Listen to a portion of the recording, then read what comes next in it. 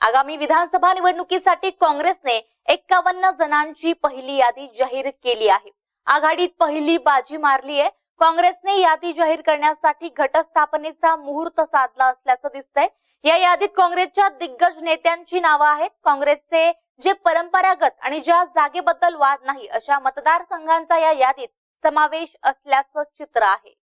यादीत काँग्रेसचे प्रदेशाध्यक्ष बाळासाहेब थोरात माजी प्रदेशाध्यक्ष अशोक चव्हाण प्रणिती शिंदे यशोमती ठाकूर विजय वडेट्टीवार विश्वजित कदम अमित देशमुख नितीन राऊत यांचा समावेश आहे.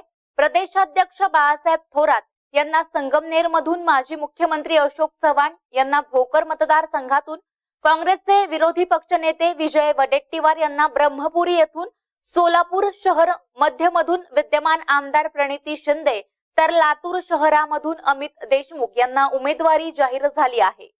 प्रदेशाध्यक्ष बाळासाहेब थोरात उद्या संगमनेर विधानसभा मतदारसंघातून उमेदवारी अर्ज दाखल करतील. यावेळी मतदारसंघात ते मोठं शक्ती प्रदर्शन करणार असल्याची माहिती आहे. शुक्रवारी पक्षाध्यक्ष सोनिया गांधी यांच्या अध्यक्षतेखाली काँग्रेसची बैठक झाली होती आणि त्यानंतर काँग्रेसचे उमेदवार ठरले होते. शिवाय शनिवारी काँग्रेस राष्ट्रवादीची देखील बैठक झाली होती.